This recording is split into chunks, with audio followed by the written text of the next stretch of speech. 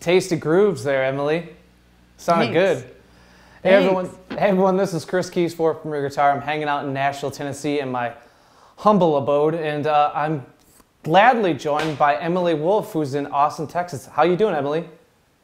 I'm doing great, all things considered. Um, yeah, it's, you know, I've been writing and recording and just working at my day job at a music shop. So, yeah. Awesome. Yeah. So have you you filled your time with uh, obviously everyone's in quarantine and dealing with the pa- pandemic in every way that we're trying to remain sane. Uh, was this part going to be a tour anyways? This part of the, the timeline or this part of the uh, the year, I should say, or were you planning to be writing anyways? Yeah, I had like a huge tour planned. Um, Oh, I was going to go, yeah, I was going to go all the way up the, the East Coast, down the Midwest, and then I had like a West Coast tour planned too. So that was, you know, it's a bummer. I couldn't, I couldn't do it, but it'll come back one day. Hopefully soon. It's going to be back. So touring will. Cool. Well, at least it sounds like you've been busy writing for uh, what sounds like obviously a new album. So that's cool. Yeah, new album. Yeah, um, still in the works, still doing demos and stuff like that, and writing writing stuff. But sure am, sure I'm doing a new one. Awesome. Is there anything else that's been uh, occupying your time? I mean, you had mentioned you work at a guitar store. Is that something you've been doing for, for a while or just recently? Yeah, I've had that job for about three years, and um, I love it. Actually, I get to I get to guitar tech, and I get to unbox new stuff like audio interfaces and pedals and um, keyboards and new guitars and everything. So it's just like it's really fun, and it's been distracting me from the fact that I can't tour, and that entire part of my life is missing. So, Yeah. yeah, it's been great actually. So Cool. Are- Any other hobbies that you've been uh, doing? Maybe watching extra movies or TV or anything like that, or uh, anything else that's going on in your life to fill up the 24 hours that we have to do? Yeah, I've been shooting hoops. I've been shooting hoops. And uh, I don't know if you can see this, but I put it up today. It's my basketball hoop in the corner there. Oh. Got now, that going. were you shoot? now, when you're referring to shooting hoops, I imagine you're shooting on a like regulation 10 foot hoop, or are you just talking specifically safely in this house? Um, I have been trespassing at a school to shoot regulation hoops. So, so real hoops. And uh, yeah, it's a blast. I never knew that I could like sports, but I do. Uh, I like basketball. It's great. Awesome. Well, that's a great gig that you can do on your own. You can, you know, obviously shoot hoops in a safe, safe manner. But uh, I'm sure, as much as everyone loves to talk hoops, I've been immersing myself in the Last Dance Chicago Bulls documentary, as I'm sure all '90s kids have. But we got to talk gear, otherwise I'm going to get fired. So let's talk guitar. You have a Sheraton in your hands, and that's been like your your main ride for a while. So tell me about how you've gotten that and how it's kind of shaped your sound. Yeah, so this is the first guitar I got that I could afford myself um, as a college student, and uh, as you can see, it's been beaten up and taken on the road. And yeah, this was until I got some of the other ones that I'll show you, but um, until I got those, this one was the only one that I played live uh, throughout the entire set. And uh, yeah, I mean, it means a lot to me this guitar because I've written so many songs on it and it's i mean it's completely stock I've, i haven't modded it in any way um, but i love the sound actually the only thing that i changed was i took the pick guard off but that's it i mean Yeah. that's not hard so Yeah. uh, yeah But what uh, first drew you to the guitar? You know, that's a yeah. Uh, Epiphone's a, a brand that kind of welcomes in beginners and mid-level players and people that are, you know, trying to find a, afford a guitar during college. But what has made you really? What gravitated you towards that instrument when you saw it in the wall? so the first time i saw a guitar um, it was that one in the corner over there that's the very first guitar that i ever had um, it's a harmony kid-size guitar that i saw in a walmart and I was with my mom and my sister, and we turned the aisle, and it's like the heavens opened up, and I just never seen anything cooler than that um, as a five year old girl. So I had to play it. I had to buy it. Well, my mom bought it for me, you know, but um, yeah, and, and ever since then, I was just in love with guitar, and uh, the next guitar I got was an electric. Um, which was like a hundred bucks. It was called a Slammer Hamer, which was a um, like a, a like a Strat model, but it was for I guess beginners. Uh, but that is what kind of started me on electric, and uh, I had other guitars after that, but nothing that really, I guess, inspired me to write music. And so this was the first guitar that really inspired me to write songs, and um, that I, I mean that's why I, it means so much to me. I think, and it's been with me for ten years. So. All right, Emily. Aside from price, you know that's that's big in a college student's uh, you know list of requirements on getting an instrument. But aside from price, what drew you to that guitar when you first saw it in the store?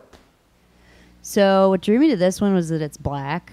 Uh, black's my favorite color, and also it's the closest, most affordable thing that um, looked like a, a Lucille because I'm a huge BB King fan. So there was like a. I remember right next to it there was um, just like a wood finish kind of Sheraton, and I thought about that one. I was like, man, I don't know. I think I'm digging the black. So, um, yeah, I picked this one up because it just reminded me of BB King, and I thought I could make some music with it.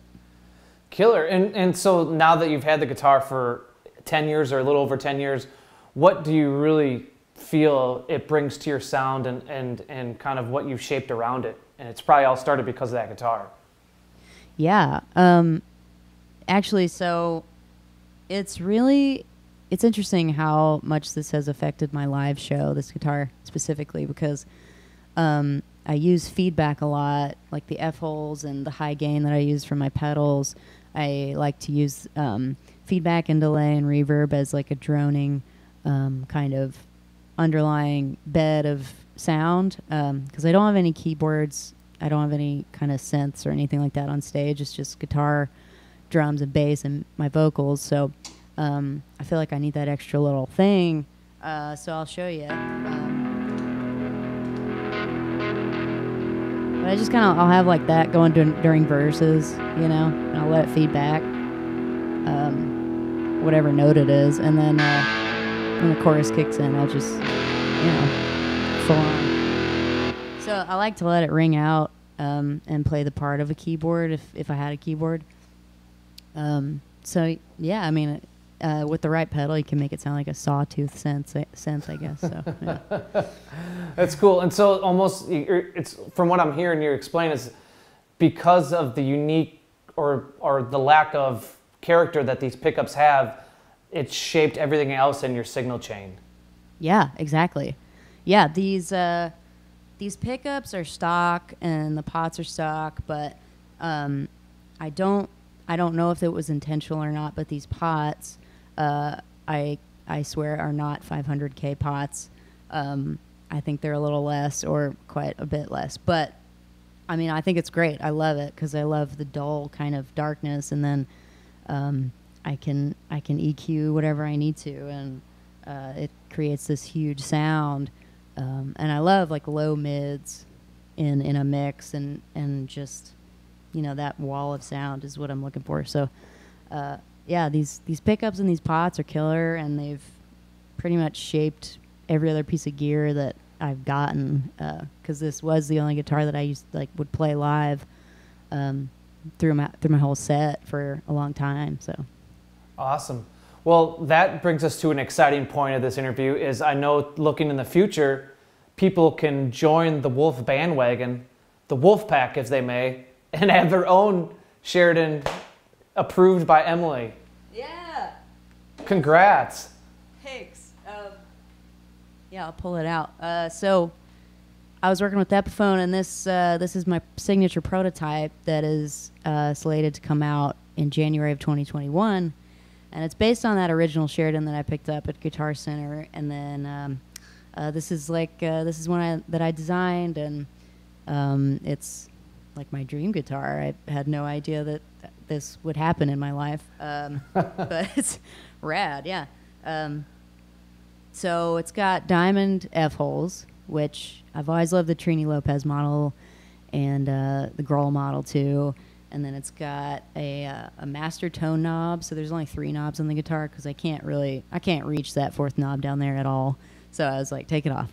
Um, so um, yeah, so there's that, and then it's got gold uh, airbrush hardware, and it's um, I think that's cool because over time, like sometimes gold hardware can look a little weird after a while, but it's going to age really nice. Um, it's got lightning bolt inlays, which is so killer to me. At the 12th fret, it's got a double lightning bolt, so that's awesome. Um, the headstock is quite a bit smaller than the original Sheraton that I've got. It's actually pretty crazy when you look at them side by side how much more exaggerated that original Sheraton headstock is. Um, so I like I like the the feel of this one. I like that it's balanced. Um, it's not as top heavy as the other one. Uh, yeah, and then uh, on the back there's a little a little wolf wolf drawing, and then my signature. But uh, on the the production models, I'm just gonna have the wolf photo on there, and I'm gonna take my signature off because I think it's a little much. I think I think I got some. uh, I, think I, think I got a little too went overboard with that one, but. well, you'll keep that one. You keep that one for yourself, and you know Yeah, yeah, the production ones won't have to worry about that. Yeah. Because, I I mean, whenever I pick up an artist's signature guitar, I always kind of hesitate. I'm like, well, now I'm playing somebody else's guitar. So I feel like if my signature is not on there, um, someone who will buy this guitar will feel more connected to it, you know, um, and make it, if it'll feel like their own, hopefully. Uh, What Yeah, so, yeah. I was what um, kind of input or say did you have on the pickups because on your original Sheraton those were really important to crafting your sound. So how how are these picked out of the batch that I'm sure you heard and got to play? Yeah, um, actually, so I was looking for pickups that were a little bit clearer than my original Sheraton, uh, just because I, over time, um, I think they had become a little bit bit duller, but uh, that's probably just because I've worn it out so much. um, I don't know if that happens or not, but anyway, so I was looking for for some just pro buckers, and uh, in my first prototype, there were uh, Pro Buckers two and three, which are high output, um, and that was just causing like insane feedback live, like, and it wasn't really usable feedback. And the interaction of those high output pickups with uh, the diamond F holes was really causing like some crazy, crazy weird tones, and it was really gnarly. So I talked to the guys at Epiphone, and I was like, "Hey, can we get? Is there like a different thing we can do? Like?" And they said, "Well, let's give you Pro Buckers one and two because those have a lot more clarity and they're less output." So, uh, and I was like, I was a little hesitant because I was like, "Well, don't I want more output because it's more fun?" and they're like, "Yeah," but I mean, it worked out great. I love these pickups, and it's it's really clear. It's the clarity is kind of crazy. Um, I love it, but yeah, and it's yeah. One silly question I'll have, and, and this is, you know, we can throw this away or people will see it and they'll enjoy the question, be like, right on, Chris, is have you noticed a difference with the F holes versus the diamonds in terms of feedback or tone or sound? Or is yeah. it just. Uh huh. I don't know what it is, but the shape. They the guys at Epiphone did tell me they were like, "Hey, the the diamond F holes causes it can cause some weird feedback," and I, I was like, "Oh my god, that's shocking! I had no clue." Uh, but yeah, the feedback was pretty gnarly. But with this pickup configuration, it's it's like way tame, like more tame, and it's it's not even an issue. So Cool. I don't know. It may have just been those pickups that that was causing the weird feedback, and not the f holes. But uh, well, who am I? I don't know. well, you're a signature Epiphone artist. and and uh, on that note, let's uh, can we actually hear some of it? Yeah, of course.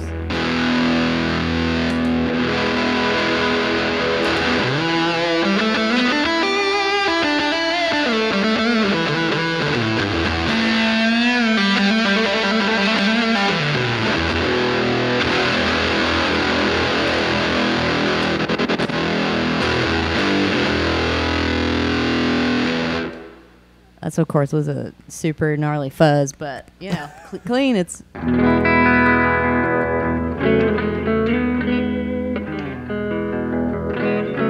It's really clear.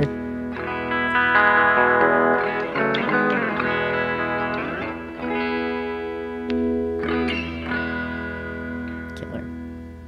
I was trying to think of some like cool tone buzzwords that people throw around, but it just sounds really good. That's all Transparent. I can say. Organic.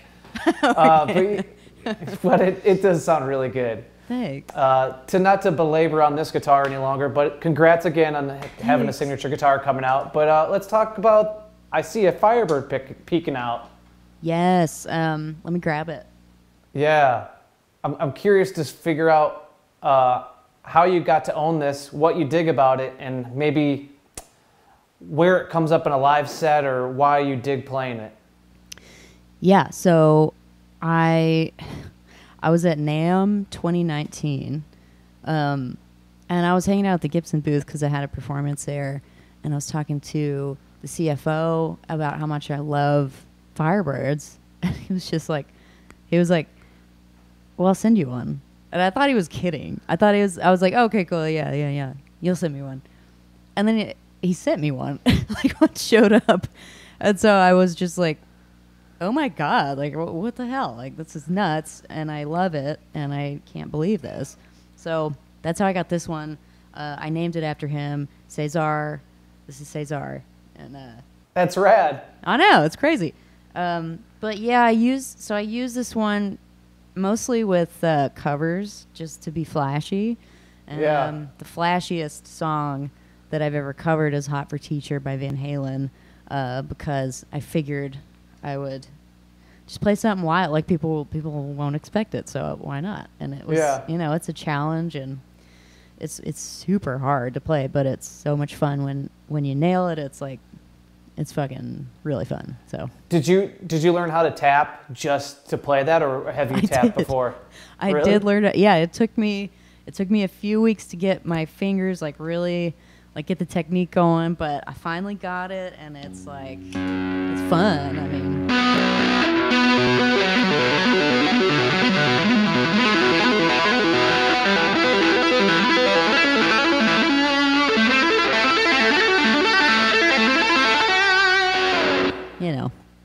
I mean, it took it took me so long. I mean, every single night for like two weeks, I was just like, like the first, you know, first freaking night was just like,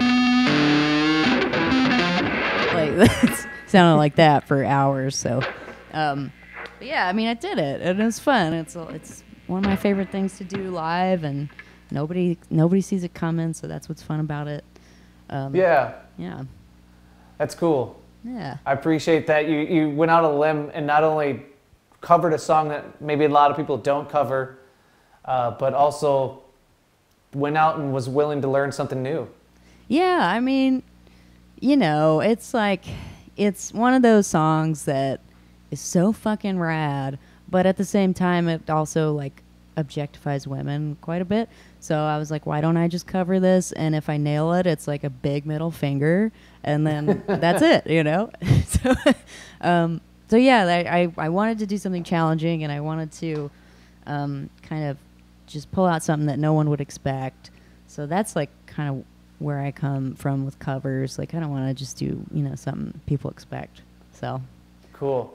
Well, what else do you dig about it uh, tonally? I, I see that they still have humbuckers, but mini humbuckers. So, what have you liked about that? Added that to the arsenal.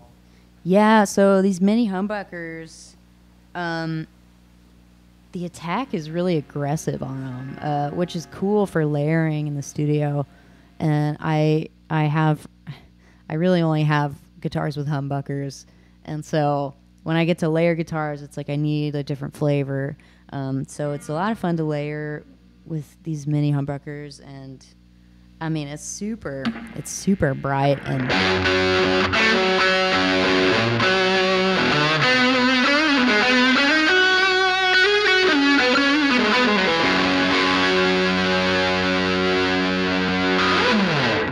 you know, it's just a lot of bite to it. Um, so I love that about it. I love the body shape and I love how long the neck is. Because, I mean, this is like the only guitar out of my arsenal that I could play that song on. Because the, the neck is so long and it's like I can grab onto it and do the tapping. And, you know, Yeah. if that's, I don't know if that's the right technique or not. So, but it's, I can do it. So, Yeah, if it works for you, who cares? yeah, who cares? Well, all right, let's move along down the line. See what else you got there. Yeah. Um, let me pull out um, this Gibson Custom. So I had this made. Um, my rep over at Gibson, uh, Cody, shout out to Cody, uh, made this for me. She she wanted to give me a gift, um, which I mean, if that's any indication of how they treat artists, it, like that's incredible. Like they they really just want their artists to play their stuff and it's high quality and it's like killer and it's I feel like super blessed to be in that family. But um, anyway, so this one is a matte black, just traditional 335. Um, it's got aged gold hardware, so it looks like somebody super sweaty has played it, and that's awesome. so, uh, and it's got a P90 in the neck and a regular um, Probucker in the bridge, and then it's got a little special nameplate on it that says "Bad Bitch" with a couple of lightning bolts. So that is one of my prized possessions. Of Now, did Cody just go ahead and put that there, or did, or did you tell Cody to put that there? I said I wanted it because I saw my friend Jared James Nichols has his signature guitar that has a badge on it that says Blues Power, and I'm, I'm just like, that's awesome, like a badge, like a badge. That's so cool. What a cool concept. So I wanted to have something for myself that was just like, what what weird thing can I put on there that has attitude, and it was bad bitch. So, you know, I thought it'd be like kind of funny to have like just such an elegant guitar and then that fucking thing right there. So, uh, yeah, I mean, this is it, and it's like a lot of fun. I mean, to layer that P. This is the only P90 I have um, out of my all my guitars. So.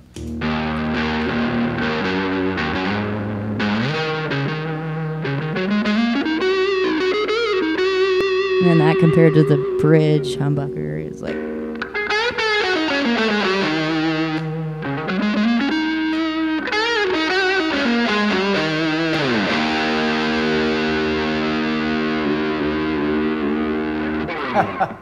it's got a Bigsby too, which is fun. So, yeah, it's rad. Yeah, yeah. Do you have a name for that one? Cody. Perfect. Yeah. Yeah. What's up next? What's up next? Um, the last one I've got is actually a new Epiphone 61 SG. Um, it's the only red guitar that I've ever owned, uh, which to me is, is a little scary, but you know, it's still rad. So, uh, yeah, this one is it's got a vibrola, it's got a the fingerboard is Indian Laurel, and um, I mean the this new line is killer because it's inspired by Gibson, and I mean you really can't tell it's an Epiphone unless you look at the headstock. Like I mean, especially when you play it because the parts are so high quality. Um, they use just like real pro probuckers and um, just really nice wood, and it sounds super clear too, which like I love. So.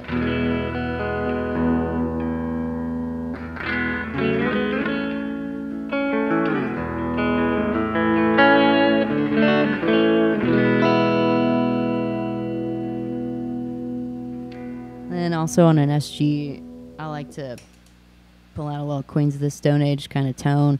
Like if you roll, if you if you um, if you hit it on the bridge and you roll the tone all the way off.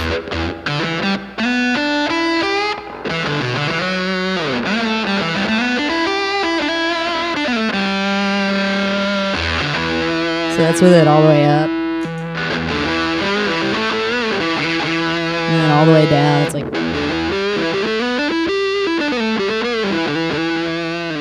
So that's a lot of fun on SGs.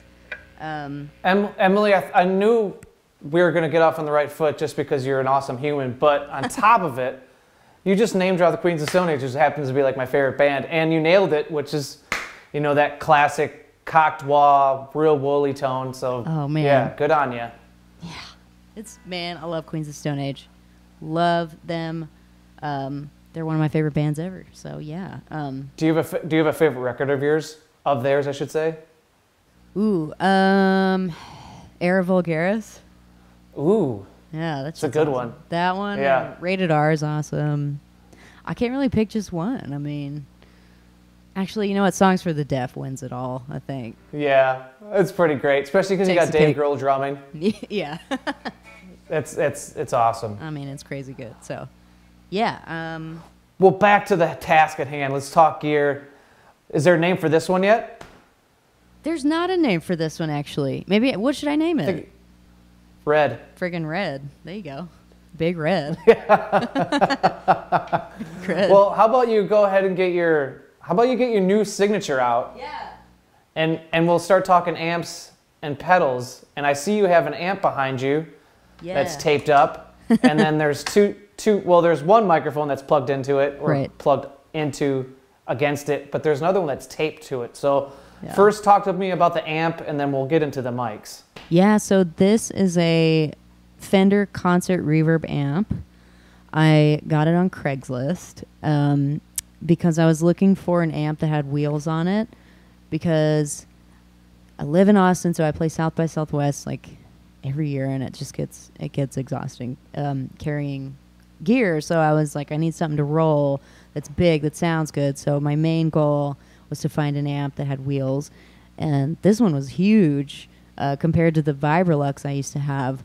Um, it's a 410 50 watt um, configuration, and it's it's an open back cab, and um, it just sounds really full. I love open back cabs, and I love 410 speakers because there's so much punch, and um, it just became one of those things. I mean, it's like the guitar. It's like my original Sheraton. It's I mean, it's just a piece of gear that has like shaped my entire sound and really just everything. I mean, songwriting, everything. So, yeah, it's. How did you um, get to own it? How did I get to own it? Um, I bought it off Craigslist. Uh, this guy, this guy was selling it in his shed. I went to his shed, and I got there, and I was like, "This is this is a lot like some um, Dateline shit that I've seen." But you know what? I got the amp, and I got out of there, so uh, it was great. I mean, it's a win. Um, probably should have taken a buddy, but it's okay. Um, yeah, you know, and I used You to live and take you this- learn. What's that? I said you live and you learn. You live and you learn, and you get an amp. Um, yeah, I used to take this one on the road all the time, and then I found out that it's actually really rare. Like they apparently only made these like for three years in the early 2000s. So I ended up getting a Fender DeVille that had a free road case with it, which I got on Craigslist.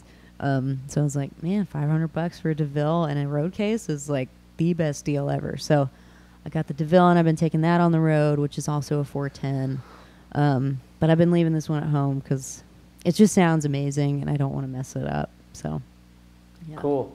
Well, talk to me about the mics. I see if it's 57, so that's you know everyone knows what that is. But Yeah. the one on my left seems quite different. So talk to me about that. Yeah, so I love a 57 on um, guitar cabs. It's just so classic to me. Like right in the center of the cone there is sweet spot for me. And then the other mic I actually made um, out of a speaker.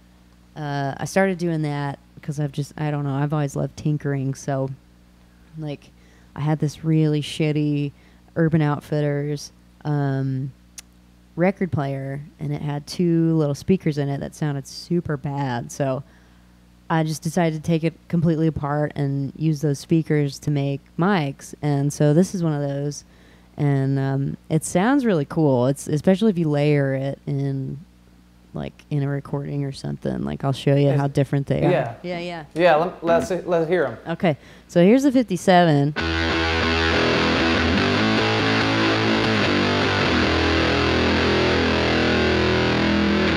Here is that little small mic.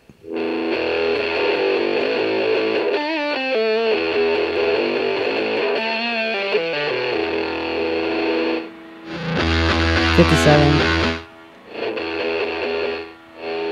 Pretty crazy, but it's fun, Yeah. you know. That sounds. Speaking of Sto- Queens of Stone Age, it sounds like the beginning of like, like maybe something mm, like Millionaire or something. It yeah, sounds, yeah, yeah. Yeah, it sounds good. Yeah, thanks. yeah, I mean that mic's been out every every record pretty much that I've put out. Um, at least the last few songs, and then the last one I did in 2019 is it's all over that one. So it's cool. Are there are there any other mics that you have made and applied musically? There's one that I made out of. I took apart a Fender Frontman, um, like a little just practice amp, and the speakers. I, I think it's a 15. No, not a 15. It's a 10 or something. And I made a mic out of that, and it's kind of sounds like a sub kick mic almost. It's just really just kind of unusable, but it was fun to make. And you know, if if I ever need a sub kick that sounds weird, that's the one. so, You got it covered. yeah, I got it covered. And uh, is there anything else you like solder or tinker or anything that like you love tweaking uh, uh, with your gear? Yeah, um, I love to make cables. I love to solder because it's really relaxing and it's just like I don't know. It's just something that I. It's like uh, crossword puzzles or, or something to me. But Mhm. yeah, I make I make my own cables, um, and I still have a lot of the cables that I made myself on my board still. But I've started using um, Evidence Audio SIS solderless cables, and those are pretty indestructible. Um, I love them because the copper core screws into the plug, and it's like you cannot damage it. It's, there's like no way for it to break because the the connection is so solid.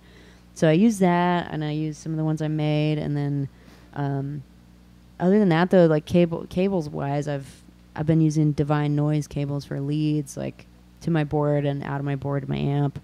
I use Divine Noise stuff. I've had those for like three years, and they haven't broken, so that's amazing. Awesome. Yeah. Cool. What about uh, any soldering in the in the pedal domain? Not yet. I want to make pedals because that would be that'd be the, the coolest thing. I think people who make pedals are so fascinating and just I mean it's amazing. It's so cool. Like you make something electronic that just is just causes creativity. Like it just brings creativity out of people. I think that's so amazing. Um, It's it's it's weird to me, and maybe you can echo this or completely tell me I'm an idiot. But it, the people that I've met that make pedals, it's like they're a little bit weird, and I'm drawn to that, and it's almost seen and felt in their pedals, almost more than any other type of subsect within the music MI, you know, guitar builders or amp builders. It's like pedal builders are weird dudes, but they come up with the craziest stuff that everyone just loves. And maybe it's just because of the pedal renaissance that's happening, yeah, but I don't know what it is. It's almost like people who make pedals and sell them, I feel like are part of this like Illuminati that just like they don't really understand that they are shaping like music right now. So it's it's amazing to me that they do that. It's so cool and um what a movement to create, you know? That's like Yeah. So when it when I was at NAMM, I was going up to pedal booths being like, "Oh my god, like I love your stuff. I am just I love pedals and you're just so amazing to me." And they're like, "Who are you?" Like, "What?" like they have no clue. they have no clue how amazing that is to me. But um, yeah, my bass player got me a build your own clone uh, TS9 pedal for my birthday that happened recently. Um, so I'm gonna dive in. We'll see what happens. Um, I don't know. We'll see. We'll see if that. man, Yeah. It'd be cool with all this free time on your hands. Who knows? Maybe you start out with your own pedal line. Are you weird enough to make your own pedals? Probably. I mean, I think so, actually. Well, before we move actually into your pedal board now, Emily, I, I have mistaken myself as a good journalist, and I forgot to ask you um, about strings and picks. what are you and using? yeah, so I use Ernie Ball uh, 10 to 46 Slinky Cobalt strings. I love those strings because they last a long time, and the, the attack on them, I just love that scratchy attack that I get in conjunction with the picks I use, which are Tortex Jazz 3s. Um, I really dig how small they are because I have small hands, so they don't like feel bulky. They're just like kind of a part of my hand. But I use 88 gauge Jazz Tortex 3s. They gotta be black though. Awesome. Yeah. Cool. Well, of course, everything else except uh, Big Red's black in your arsenal, so it makes sense. yeah. So let's talk to me talk to me about your pedal board and uh, what you got going on down there. Yeah. Um, my pedal board is let's see. So it's a, actually a Gator aluminum large pedal board, and it, all the pedals run on a True Tone CS12 Pro uh, power supply, which I love that power supply because it is it's universal. It's um, so when you go overseas, like you just flip a switch, get the right plug, and you're good to go. Whereas others, it's like I've had they've been marketed as universal, but they're not. So it's like, yeah, CS12 is my favorite power supply. Um, and then I've got I've got several pedals. Emily, so talk to me about your signal flow after you talked to me about the Gator board and the power supply. How is everything routed? So it's routed. Um, well, I have a, a switcher um, that all my gain pedals go into, but I'll I'll get to that after I talk about the chain. But first in my chain is a TC Polytune Mini that I have put black electrical tape on, um, and then I go straight from there into my switcher, which it's a uh, flex reaction compound 55 switcher. And I love this switcher because it's based on dip switches and it doesn't have like presets based on lights or light colors, which to me, like, I mean, that overwhelms me and freaks me out. Um, and I like to see exactly what's in there, uh, what's in, in each preset. So, yeah, um, I love this switcher. Um, so, all of my gain pedals are in the switcher, and then I have my modulation outside of the switcher. So, basically, first in the chain of my switcher is the Earthquaker Devices Tentacle, and um, that pedal is basically like an octafuzz, but it's just the octa, and there's no fuzz. Um, and it's Can we hear that? Yeah, of course. As you're going through the signal, let's hear everything. Yeah, yeah. So this is the tentacle by itself.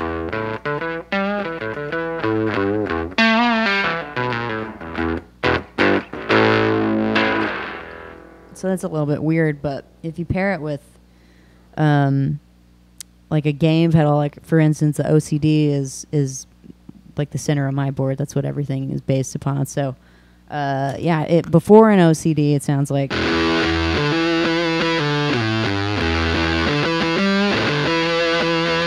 So it's by itself. And then with it.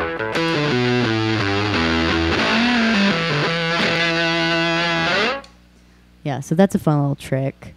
Um, Yeah. Why do you like combining the two pedals rather than just having an octave fuzz or an octave distortion like that? Well, so I used to use an Octafuzz, um, and I think it's because I love the feel of the OCD. I love how like solid it feels, and it's really um, you can hear every note in it, but it's really fat. So I couldn't find a fuzz with that same feel. Um, so I was like, why don't I try to turn this into a fuzz? Um, so I put the tentacle in front of it, and that kind of makes it sound like a fuzz, but it still has that feel of the OCD. But I boost the OCD um, with a Fulltone 2B boost, which I used to um, layer, I used to stack two OCDs, but that kind of got Oh, wow. unwieldy. Yeah. um, it got a little to be a little bit too much, but yeah, so I, I switched that for the, the 2B boost.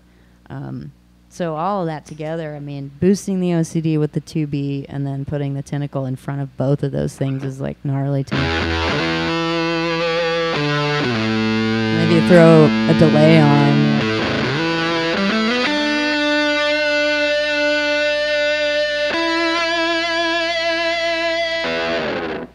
That's really fun. So Man, is that is that what people probably hear in like uh, song um, "Violent Veins"? Yeah, I use that's pretty much the go-to like solo tone. So on the so on solos, that's that's generally the preset that I hit. Um, Gotcha. Yeah, yeah. Cool. So then, what comes after? So so far we got we got the tentacle, we got the 2B boost, hitting the OCD. So what comes after the OCD? After the OCD is a Sub 'N' Up by TC Electronics. Um, it's the best tracking octave pedal that I've ever had or played. Um, I'll show it to you, but I use it just for the lower octave. Um, so one second.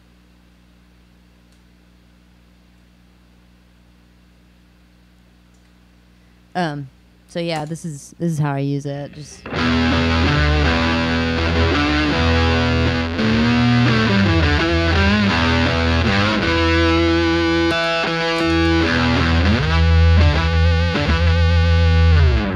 It just tracks really clean, and um, I know. It sounds huge. Yeah, it's big. It feels, yeah, Yeah. and uh, it's fun to kick in, kick in on a solo with that because you know people don't really expect that low octave to slap them in the face. So that's fun.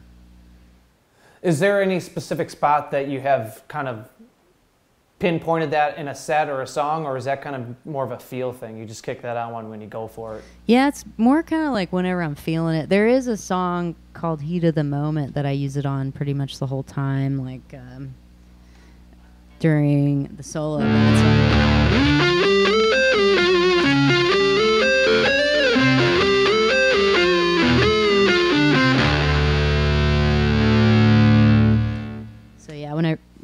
Wrote that one, I was just looking for a an octave that would track really well, and I went through a bunch of different ones, and this one was the best one. So Cool. yeah, Awesome. And and while I got you, the thing that like first put you on my radar was Atta Blues. oh thanks. Is and there's some gnarly gnarly tones in that, uh, specifically in the solo and the second musical break. What are you doing there, or is that just more kind of your standard uh, solo tone recipe? Yeah, I actually did that recording before um before I really dove into pedals. So I think as far as tone on the solo with that one, I feel like it was a Marshall actually. But the OCD, like I mean it sounds like a Marshall, so um Yeah. so I mean that's pretty much, you know, same thing pretty much, but um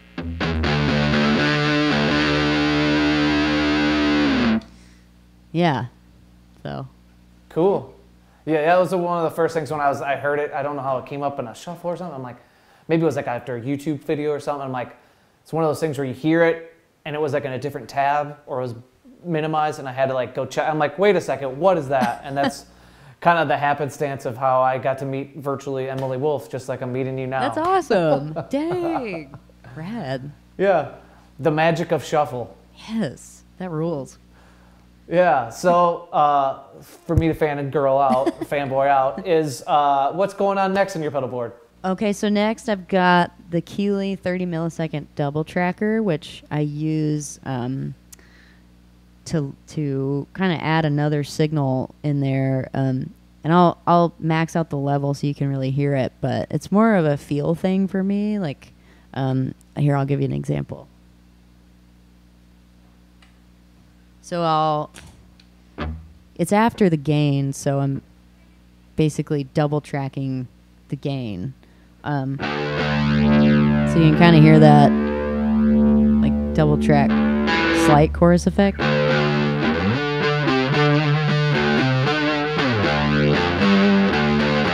There's without it. With it.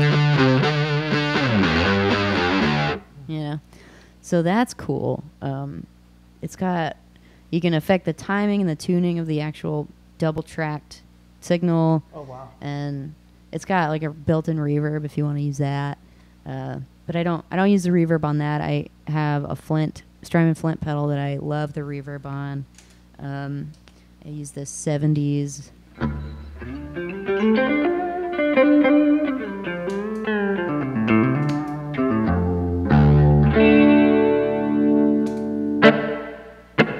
so that's a i love that reverb and then on the other side i've got like a maxed out kind of stutter tremolo so i've got the speed and the intensity all the way up on the 65 photo setting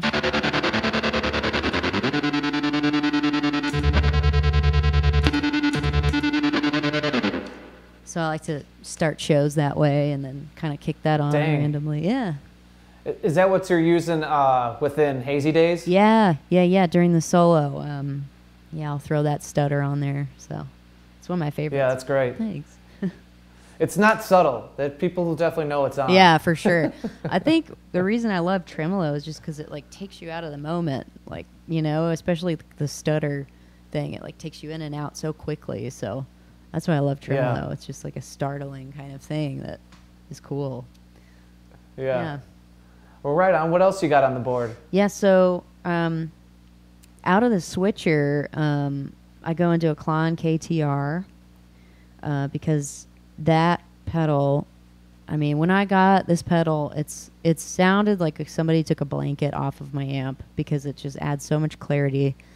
Um, and so I use it for for clarity, but also as kind of a limiter because it's at the end of my gain chain, and uh, end of my gain chain.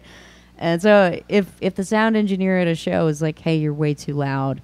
Can you please turn down?" Like I'll just use that master knob as a limiter, and uh, it won't affect the tone of my board or, or what's coming out of my amp because I don't have to mess with knobs on the amp.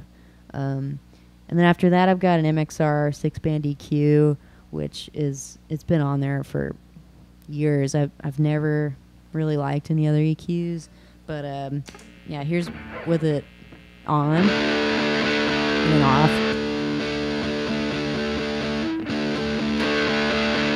So I can really stick out of a mix with it, which is important to me because it's like my bass player's sound is so huge and it covers so much ground frequency wise. So uh, um, he's got like he's got all the low and low mids and lows covered, and then if I've got the the uh, the high mids and highs, it's like a sandwich of tone. So.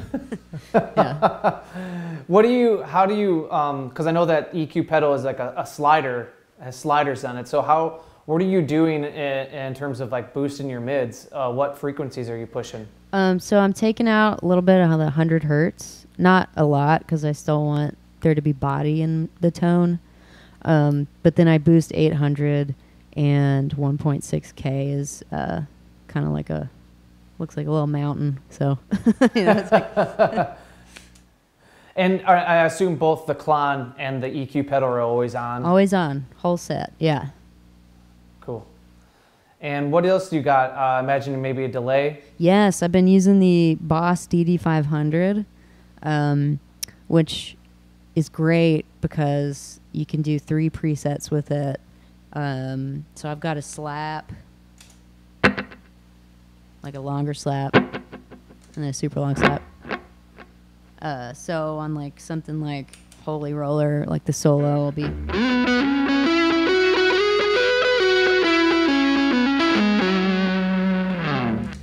Um, yeah, I mean that's pretty much how I use it. I'm just kind of like alternating between those three delay set um, presets throughout the set. Have you? It's a pretty expansive kind of deep pedal. Have you really messed with it, or have you just keep it scratch the surface with those three delays? You know, whenever I get a pedal with menus, I have to just take a day or two and like learn everything about it because if I don't, I'll it'll bother me and I'll feel very unprepared. So and I did play a show with this pedal before doing that. and there's 99 banks of delays. So um, I didn't realize that you could put put you know oh there's just one bank you can do that so i was just going through you know bank 14 preset c like just the whole set and it was a mess so yes i've i've dove in pretty intensely to this pedal and it's super rad. I mean, there's so much you can do with it. So I'll, it'll probably be on there for a while. Um, but yeah, there's there's that delay. That's that's my delay. Um, there's all these different settings. It's like pretty much every boss delay in one pedal, which is cool. So yeah, yeah. right on. Is there anything else you got on your board, or is that it? Does that go through the mix? That's pretty much it. I mean, I've gone through like so many different pedals. I've and, and there's a place in town in Austin, which I feel like Austin's really lucky to have, but it's called Rock and Roll Rentals. And they've got this like monthly thing where you can go and swap pedals, and it's like you don't have to buy them because, I mean, I went through the whole thing where it's like I buy all these pedals, sell all the pedals to pay rent, you know, like go through that like process. But I mean, you can just rent them there, and I, so I've been I've just rented so many different pedals and swapped so many and tried them all pretty much. And these are the pedals that I landed on, and it's been my board for a couple of years, which is crazy because they used to change just all the time. But And, and through that process of renting and trying out pedals and then taking them back, have you ever actually found one that you're like, oh, I gotta have it, and you bought it? Yes. Um, the tentacle. I bought the tentacle from there. Um, Oh, cool. Yeah, because it's like a version one and it's like smaller, so it fits like right in the slot, you know. So it's good stuff. Um, yeah. And while you you mentioned uh, versions, I, I think there's a couple versions of the OCD pedal. Which one do you have? So on my board right now, I've got the, ver- I think it's a version two, um, black OCD that came from with a, a Chicago Music Exchange did like a black OCD thing, and like I saw it on Instagram, and I was like, I have to buy this because it's black, um, and it's my favorite pedal, so I did, and uh, yeah, I have a version one that was on my board for a long time, which I colored black, um, and yeah, I mean, there's like, it's weird because you can kind of tell a difference, like the, it's almost like a a slight volume difference, kind of. But it, I mean, it feels the same. It sounds killer. I, I mean, I love both versions. I love every version of the OCD. Um, yeah, it's like my ride or die pedal. You're OCD, OCD. about the OCD. I am. well, I mean, obviously everything's kind of up in the air right now. But what else do you have planned for 2020? Uh, anything that you can really share with people that keep keep tabs on you? Yeah, 2020. Um, you know, I don't know. I mean, I'm hoping that touring comes back. At the moment, there's some some shows in the works in September. I don't know if they'll happen. I hope they do because I miss playing live so bad. Um, but other than that, just writing and I'm doing doing demos, passing files back and forth with uh, a Queen of the Stone Age. So that's fun. Wow, yeah, that's one awesome. Queen of the Stone Age. Um, and so yeah, he's he's gonna produce the next record, and so we're still working on that. Um, but yeah, I mean, other than that, I mean, this year I guess just waiting. so Have you have you done any gigs live, like in, from your house, or have you done any live streams or anything to eh, kind of keep you active with the fans in that way? I have done live streams. Yes, they're incredibly weird for me, but I mean, I think I think I. Why is that? It's just you know, I mean, I'm just so used to playing in front of crowds, so it's like when I finish a song, I just don't know what to do. It's like, well, there's that Yeah. song. Okay, next one. Like it's a little bit weird, you know. Um, but you know, I think it's important to to bring music to people, and during all this, it's you know nobody really wants to be in this situation. So if I can if I can help in any way, it's I I guess with music. So